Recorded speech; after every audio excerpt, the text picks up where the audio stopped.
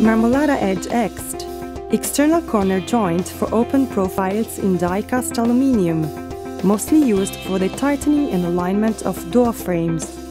It can be installed without any processing.